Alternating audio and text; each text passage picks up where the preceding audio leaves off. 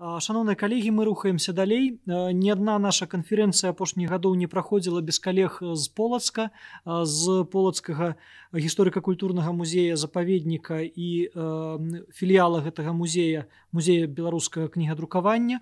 Сёння з намі ольга александровна філімонова вядучы супрацоўнік гэтага музея і яе даклад лаціна-польская кніга 19 стагоддзя у экспазіцыі музея беларускага кнігадрукавання. Таксама тэма мала даследаваная і ў свой час часткова забытая калі ласка Вітаю ўсіх удзельнікаў міжнародных кнігазнаўчых чытанняў.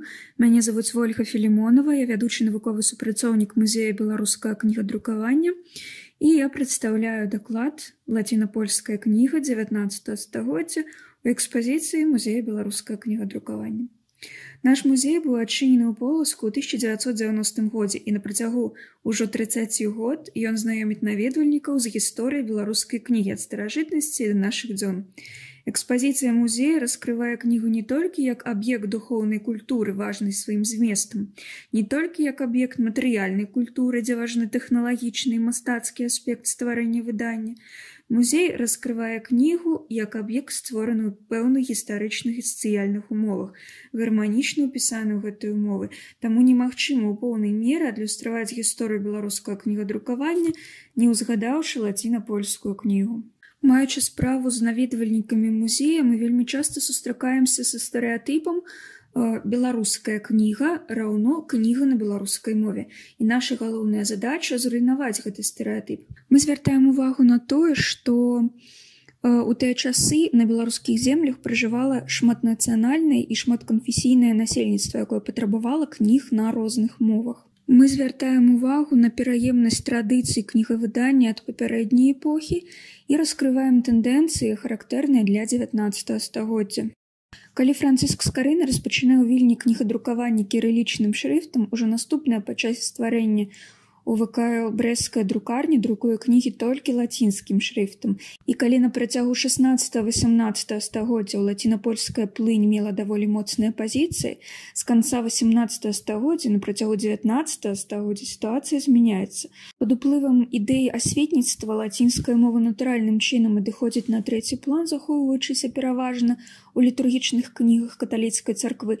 Польская ж мова пасля падзелу рэчы паспалітай і асабліва пасля 1860 1954 года наўмысна выцясняецца царскімі ўладамі з усіх сфер жыцця. Тым не менш, нагледзячы на неспрыяльныя адносна папярэдняга перыяда ўмовы для друку і меншую запатрабаванасць, і ў 19 стагоддзе лацінапольская кніга як мясцовай так і замежнай вытворчасці знаходзіла свайго чытача і асядала ў беларускіх кніжных зборах, што адлюстроўваецца ў экспазіцыі музея беларускага кнігадрукавання. Адзін з важнейшых акцэнтаў у экспазіцыі музея зроблены на з'яўленне кнігадрукавання ў полацку. Адчыненая з канца 18 стагоддзя друкарня пры полацкім езуіцкім калегіуме паспяхова праца... працягвала працаваць і на пачатку 19 стагоддзя.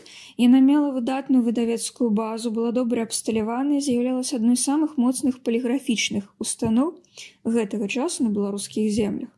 За перыяд з 1801 до 1820 года з-пад варштатаў полацкіх езуітаў выйшла па розных дадзеных больш за 400 назваў кніг. Рэпертуар выдавецкай прадукцыі быў у значнай ступені падпарадкаваны мэтам навучальнага працэсу. Акрамя таго, тут друкавалася мастацкая літаратура, кнігі афіцыйна-прыкладнога характару, паньгірыкі на розныя нагоды і гэтак далей. Больш за палову выданняў складалі кнігі на польскай мове, каля трэці на лацінскай мове, астатнія на заходнееўрапейскіх мовах і нязначная колькасць на мове рускай. Дзейнасць полацкай езуіцкай друкарні адлюстравана ў тэматычным раздзеле экспазіцыі музея кнігадрукавання на беларусі ў 17 пачатку 19 стагоддзя такімі выданнямі як сачыненні гарацыя 1803 года і лацінска-польскі слоўнік 1817 года. Абедзве кнігі былі выдадзены ў дапамогу студэнтам для паспяховага засваення лаціны Гэтыя выданні разам з падручнікам партугальца Эмануэля Альвара аб вывучэнні граматыкі лацінскай мовы 1794 года дазволілі нам сфарміраваць поўны і лагічна завершаны экспазіцыйны комплекс, які распавядае аб навучанні лацінскай мове у езуіцкіх школах і ілюструе тры асноўныя прынцыпы, па якіх вялося навучанне гэта вывучэнне граматыкі лацінскай мовы гэта назапашванне лексічнага багажу і выпрацоўка правільнасці ўжывання лацінскай мовы таксама вывучэнне найлепшых прыкладаў лацінскага пісьменства праз чытанне твораў аўтарытэтных антычных аўтараў Дадзены экспазіцыйны комплекс лагічна ўпісаную экспазіцыю музея і арганічна працягвае тэму навучальнай літаратуры, распачатую вучэбнымі выданнямі беларускіх брацкіх друкарняў канца 16-17 стагоддзя і перакідвае лагічны мосцік да выдання ў віленскай езуіцкай друкарні. Пераемнікамі выдавецкіх традыцый езуітаў полацку сталі піяры. Пасля забароны дзейнасці таварыства Ісуса і выгнання яго за межы расійскай імперыі у 1820 годзе абсталяванне полацкай друкарні перайшло ва ўласнасць ордэна піяраў. За сем гадоў сваёй дзейнасці піяры выпусцілі ў полацку каля 30 выданняў, сярод якіх была светская літаратура, прыватнасці навучальныя праграмы граматыкі лацінскай мовы буквары на ладгальскім дыялекце так і рэлігійныя выданні напрыклад прамовы імшалы і гэтак далей.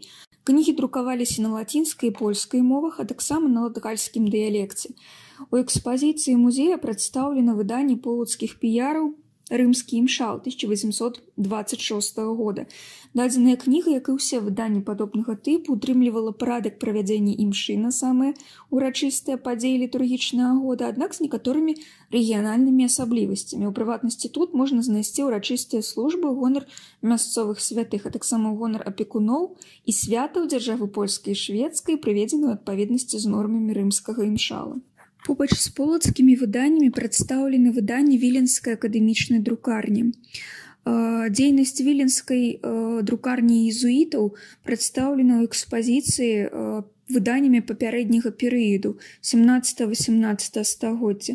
Фактычным спатакаемцам друкарні езуітаў вільні стаў адзін з буйнейшых віленскіх выдаўцоў і кнігагандляроў юзаф завадскі.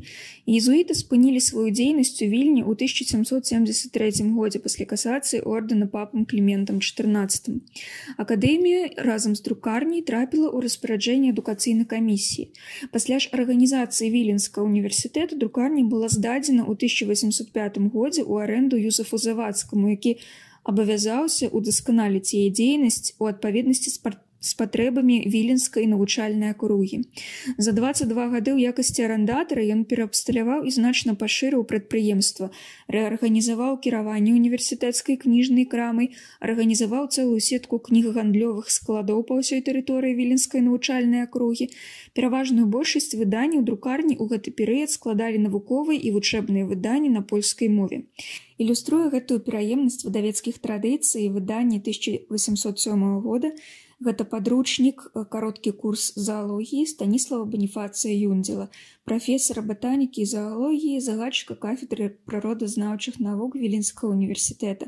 Яно прадстаўлена побач з выданнямі віленскіх езуітаў статут вялікага княства літоўска 1693 года і кіраўніцтва для прапаведнікаў 1752 Некаторая частка лацінапольскіх выданняў 19 стагоддзя экспаніруецца ў экспазіцыйнай зале тыпы і віды друкаванай прадукцыі. Матэрыялы гэтай залы даюць не толькі ўяўленне аб розных тыпах і відах выданняў, мастацкіх, вучэбных, навуковых, даведачных, кнігах, брашурах, часопісах, газетах, календарах, альбомах, але і раскрываюць тэму кніга друкавання на беларускіх землях у 19-20 стагоддзях, распавядаюць аб кніжным гандлі і кнігах выдавецкіх сувязях у адпаведны час. Сярод мастацкай літаратуры 19 стагоддзя прадстаўлена выданне беларускага польскамоўнага пісьменніка ігната хоцькі, дворыкі на антаколе. Кніга выйшла ў 1850 годзе накладам і друкам Юзафа завадскага. Кніга з'яўлялася часткай літаратурна-мастацкай серыі літоўскія замалёўкі, што друкавалася з 1842 па 1863 год. Сярод даведачных выданняў можна пабачыць тлумачальны слоўнік польскай мовы. Ён з'яўляўся адным з галоўных выдавецкіх праектаў віленскага друкара і кнігагандляра Маўрыца Оргельбранта. Да складання дадзенага слоўніка спрычыніўся міхал богу шышка, вядомы беларускі перакладчык і архівіст, а таксама гісторык Александр Зданович, філолог Януарый Філіпович, пісьменнік Валерыян Тамашевич і іншыя. У экспазіцыі прадстаўлены першы том, выдадзены ў 1857 годзе. У экспазіцыйным комплексе календары да нядаўняга часу можна было пабачыць выданні так званых дырэкторыумаў. Дырэкторыумы не з'яўляліся календарамі ў звыклым сэнсе гэтага слова, але утрымлівалі парадак чытання малітва дзённага цыклу і імшы на ўсе дні года.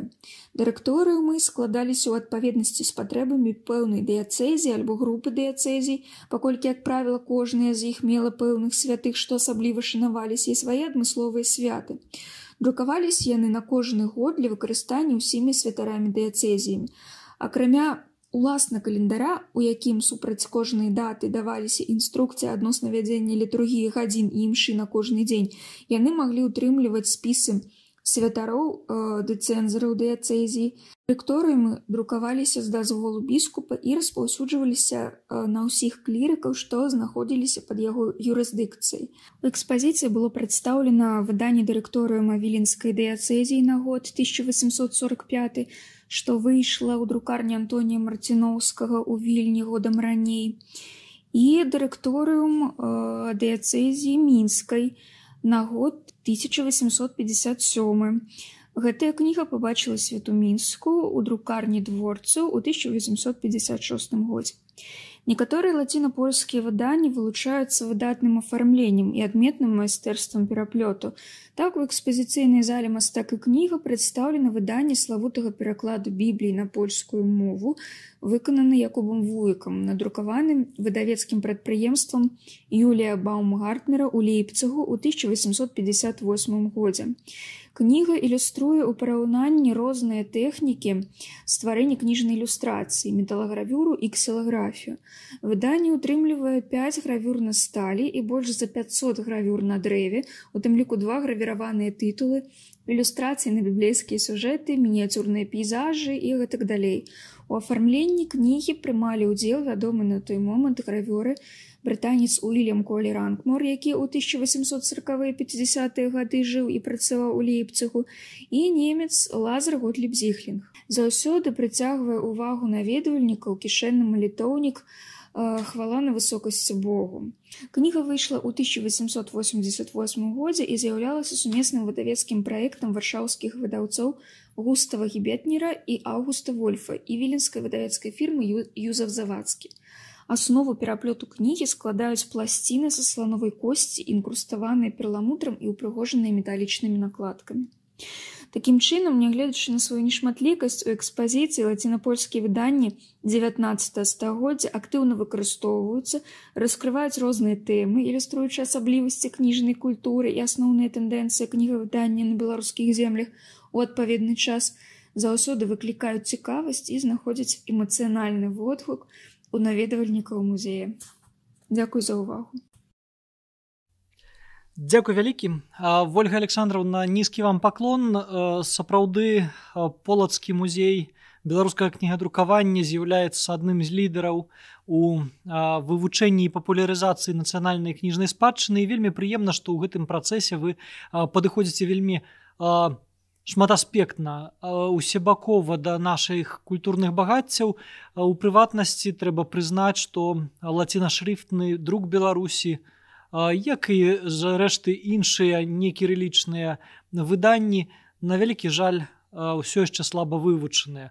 Мы хаця і маем пэўныя каталогі некаторыя спробы ўліку гэтых выданняў на вялікі жаль яшчэ толькі ў самым працэсе апісання беларускіх выданняў выпушчаных на заходніх мовах лацінскім шрифтам на яўрэйскай мове ці мовах на юрыці на ідышы.